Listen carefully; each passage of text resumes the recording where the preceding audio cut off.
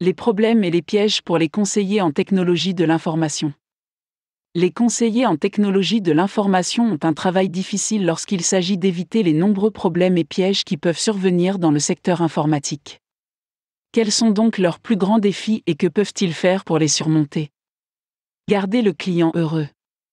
Les conseillers en technologie de l'information sont les mêmes que la plupart des autres entreprises en ce qui concerne la philosophie selon laquelle un client heureux est l'une des clés du succès. La satisfaction du client peut prendre différentes formes et il est important de donner la priorité à son bonheur par rapport à la plupart des autres aspects de la fonction.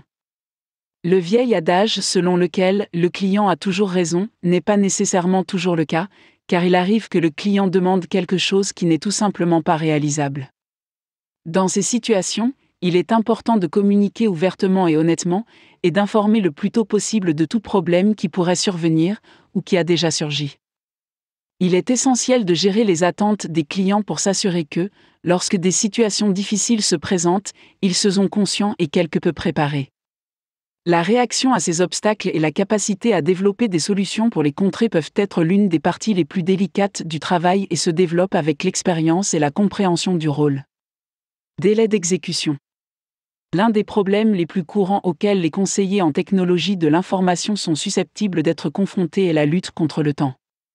Même avec les meilleures compétences en gestion de projet, il est difficile de prévoir exactement le type de problème qui pourrait perturber le calendrier d'exécution.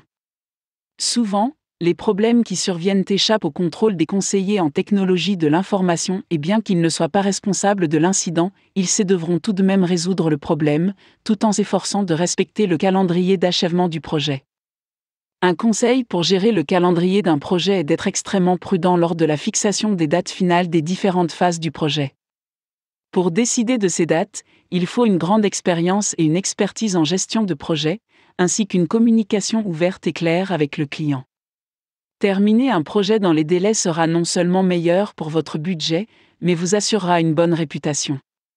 Comprendre les coûts et le budget. Les conseillers en technologie de l'information doivent non seulement concevoir un système fonctionnel et efficace, mais aussi comprendre les coûts et travailler dans le cadre d'un budget. Les budgets, tout comme les délais, sont extrêmement faciles à dépasser si les bonnes compétences en matière de gestion de projet ne sont pas appliquées. Il faut donc faire preuve de prudence et de diligence avant de fournir un devis. Travail sur les documents.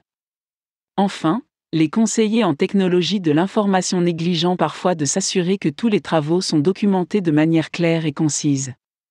Bien que cela puisse sembler fastidieux sur le moment, un travail bien documenté rendra la compréhension du système beaucoup plus facile à l'avenir, tout en étant un outil utile pour justifier les décisions, si jamais cela est nécessaire.